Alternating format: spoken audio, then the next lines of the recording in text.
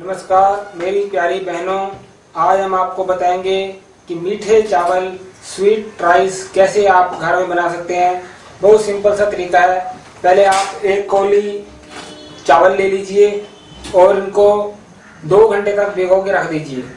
जब दो घंटे तक भिगो के भिगोने के बाद आपने थोड़ा सा घी ले लेना है, एक कढ़ाई में देसी घी।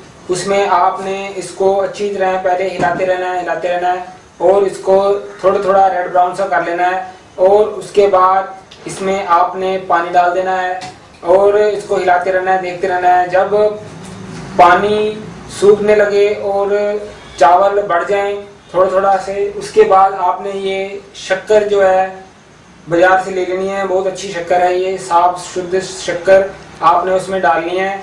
ये शक्कर डालने के बाद इसको हिलाते रहना अच्छी तरह, हिलाने के बाद जब देखें कि इसमें सारी शक्कर अच्छी तरह मिल गई है और थोड़े से चावल आपने हाथ में निकाल करके देख लेने हैं, दबा करके कि गल गए हैं। इसके बाद आपने वो आपके चावल जो हैं तैयार हैं, आप उसको खा सकते हैं अच्छी तरह, खा करके आप स्वस्थ रह सकते हैं, बाहर का ना खा के, घर के स्वीट डिश के रूप में आप इस चावलों को ले सकते हैं।